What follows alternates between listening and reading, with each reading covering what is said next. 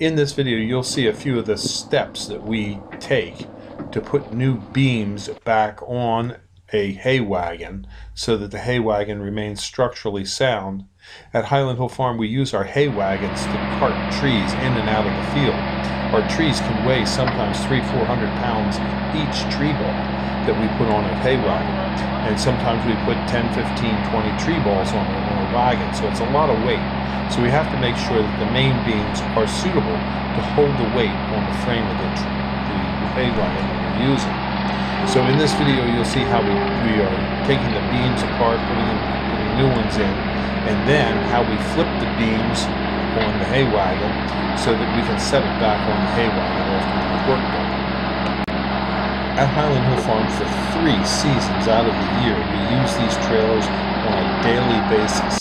Each winter, we bring the trailers into our yard and inspect the trailers for damage. This trailer had some beams that weren't very sturdy, so we decided to take it all apart and rebuild it. These trailers carry a lot of weight. The hay wagons that we use sometimes are used two and three times a day to bring trees in out of our fields. We grow thousands of trees here at Highland Hill Farm, and we do deliver and plant up and down the East Coast. But as you can imagine, we don't use these hay wagons to deliver trees to your property. So we just use these around our farms in our Doylestown area. But we want to make sure they're, they're sturdy and can carry the weight that we need to move on the road safely. If you need trees or shrubs, you can give us a call at Highland Hill Farm. We can deliver and plant. We have seedlings, transplants, potted material, and balled and burlap trees and shrubs for you to pick up, or we can deliver and plant. Give us a call at Highland Hill Farm, 215 651 8329. Thank you.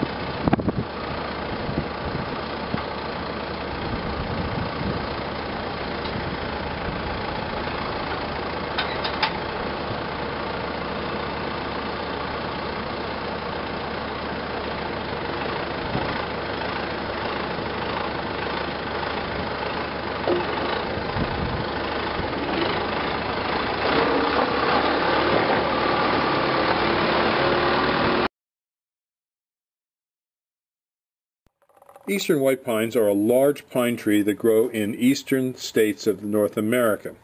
Like all pine trees, it's an evergreen, so it keeps its needles year round.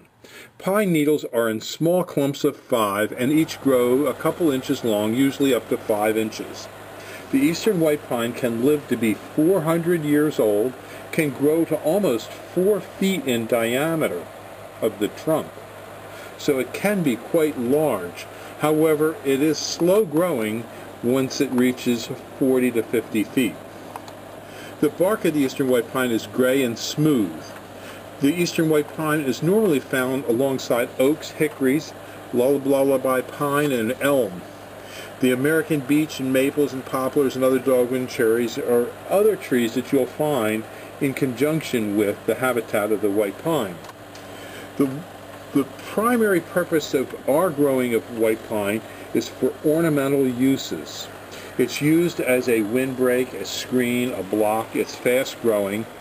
The eastern white pine is easy to dig, so it's found widely in the landscape. It also transplants well. Normally it's planted between 8 and 12 feet apart in straight or in double rows, staggered. The eastern white pine that, that we grow are grown in Doylestown, Pennsylvania.